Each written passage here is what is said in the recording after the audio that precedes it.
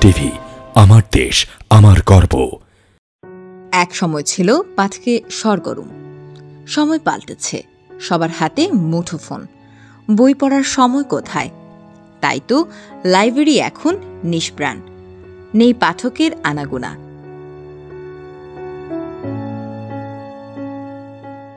এই হচ্ছে সিলেটের বিয়ানীবাজার উপজেলার ঐতিহ্যবাহী পঞ্চখণ্ড গোলাপিয়া পাবলিক লাইব্রেরির অবস্থা। তবে উনিশশো ঊনপঞ্চাশ সালের প্রতিষ্ঠার পর থেকে বেশ সুনাম ছিল লাইব্রেরিটির। স্থানীয় পাঠকে সবসময় মুখরিত থাকত এই লাইব্রেরির কক্ষগুলো। প্রতিদিন লাইব্রেরিকে ঘিরে বইপ্রেমীদের মেলা বসত।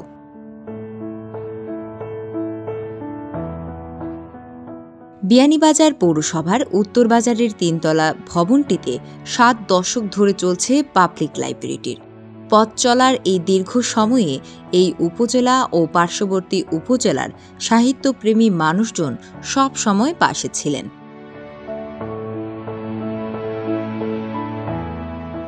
লাইব্রেরিটিতে রয়েছে বাংলাদেশের ইতিহাস ও ঐতিহ্যের দুষ্প্রাপ্য সব বইয়ের সংগ্রহ।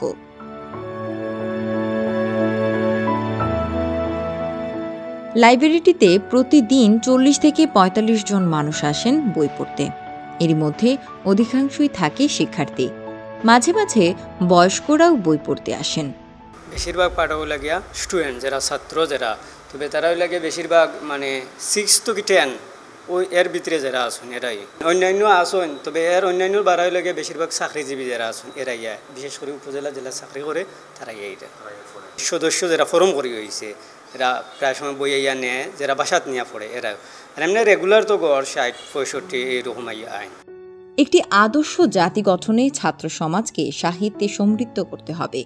আর এর জন্য লাইব্রেরিতে গিয়ে বই পড়ার বিকল্প নেই বলে মনে করেন পাবলিক লাইব্রেরিটির পরিচালনা কমিটির যুগ্ম সাধারণ সম্পাদক হাসান সাহারিয়ার এটা দেশের অন্যান্য অঞ্চলের মতো আমাদেরও বইপ্রেমী বা পাঠক পাঠকের সংখ্যা খুবই কম। মেধাবী একটি জাতি করতে হলে আমাদের অবশ্যই লাইব্রেরিপ্রেমী হতে হবে, লাইব- লাইব্রেরিমুখী হতে হবে। আমাদের ছাত্রছাত্রী যারা আছে, তাদেরকে লাইব্রেরির প্রতি আকৃষ্ট করতে হবে এবং আমরা অনুরোধ করব যে আমাদের লাইব্রেরিতে সবাই যাতে এসে লাইব্রেরির লাইব্রেরি থেকে বই নিয়েও পড়তে পারবে, আবার বই লাইব্রেরিতেও এসে পড়তে পারে। আমাদের লাইব্রেরি লাইব্রেরিতে বইয়ের পাশাপাশি কম্পিউটারও আছে। এখান থেকে তারা ওই কম্পিউটার ইন্টারনেটের মধ্যে- মাধ্যমে দেশের, বিদেশের বিভিন্ন বইপত্র পড়ার সুযোগ পাবে।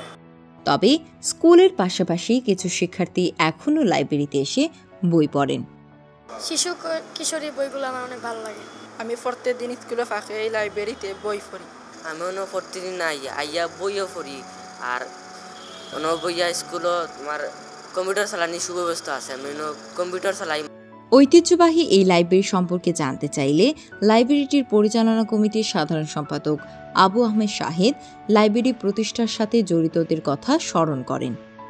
আব্দুল মতিন, আব্দুল শহীদ, আব্দুর রহমান, আব্দুল হক, আবুল আহমদ লেইস, মজিদ মিয়া আর ওনাদের সিনিয়র ছিলেন আমাদের আলী মোসারের পিতা, জনাব মুদাসির আলী।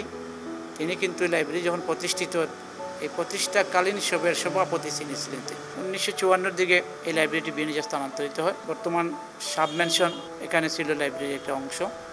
স্বাধীনতা পূর্বে আর স্বাধীনতা পরবর্তী সময়ে আমি যেখানে অবস্থান করতেছি সেখানে এই লাইব্রেরিটি আসে। তৎকালীন আমাদের গঙ্গাদিয়া গ্রামের মতুর রহমান স্যার আমাদের ওনার পিতা জনাব তৈবুর রহমান সাহেবের সহযোগিতা, আমাদের প্রমোদ দাস, পঞ্চখণ্ড হরগোবিন্দ উচ্চ বিদ্যালয়ের তৎকালীন সভাপতি ওনারা এই লাইব্রেরির কথা চিন্তা করে এই লাইব্রেরিটিকে দীর্ঘায়িত রাখার জন্য এই আমি যেখানে বসে আছি পঞ্চগড় বর্তমান লাইব্রেরিটি এই লাইব্রেরি ভবনের জায়গাটি স্কুলের কাছ থেকে দান করেন গুলাবের লাইব্রেরির নামে। তিনি আরও বলেন লাইব্রেরিটি পরিচালনা ও উন্নয়নে বিয়ানীবাজারে প্রবাসীরা বড় ভূমিকা রাখেন। তারা সব সময় অর্থ ও পরামর্শ দিয়ে আমাদের পাশে থাকেন। সাব মেনশনের সত্তাদের জনাব সাবুদ্দিন সাহেবের দ্বিতীয় ছেলে আবু তাহের উনি আমাদের লাইব্রেরির নিচের ভবনটি নিজের অর্থায়নে করে দিয়েন এবং করে দিচ্ছেন এবং এখনও কাজ চলমান আছে পুরোপুরি সম্পন্ন হয় নাই। এই লাইব্রেরির যে অনারিয়াম শিক্ষা আমাদের লাইব্রেরিয়ানকে দেওয়া হয়, এটা কিন্তু এই আমাদের ইস্তেক আহমদ রানা এটা বহন করে যাচ্ছেন। দ্বিতীয় তলাতে আমাদের এলাকার চোদ্দোর উপর পনেরো পনেরোদের মতো এক লক্ষ টাকা করে দিয়েছেন। ওনারা আজীবন সদস্য হিসেবে এই- লাইব্রেরির স্বীকৃতি পেয়েছেন। আমি অনেকের নাম এই মুহূর্তে বলতে পারতেছি না, যে তোমার সামনে নামগুলো লিস্ট করে নেই। তো আমি যারা এই লাইব্রেরিতে অর্থায়ন করে সহযোগিতা করেছেন, তাদেরকে আমাদের পঞ্চখণ্ডবাসীর পক্ষ থেকে কৃতজ্ঞতা জানাই। যুগ পাল্টেছে, সেই সাথে পাল্টেছে আমাদের তারুণ্য। বই ছেড়ে হাতে উঠেছে স্মার্টফোন। তবুও একটি জাতি গঠন, বইপ্রিয় তারুণ্যের বিকল্প নেই। তাই তো সবার প্রত্যাশা আবারও লাইব্রেরিতে মুখী হবে ছাত্র সমাজ। আর পঞ্চখণ্ড গোলাবিয়া পাবলিক লাইব্রেরি ফিরে পাবে তার ঐতিহ্য। Joyrani Korjui map TV. ইতিহাস ঐতিহ্য সংবাদ বিনোদন ব্যতিক্রমী সব আয়োজন। ম্যাপ টিভি আমার দেশ আমার গর্ব।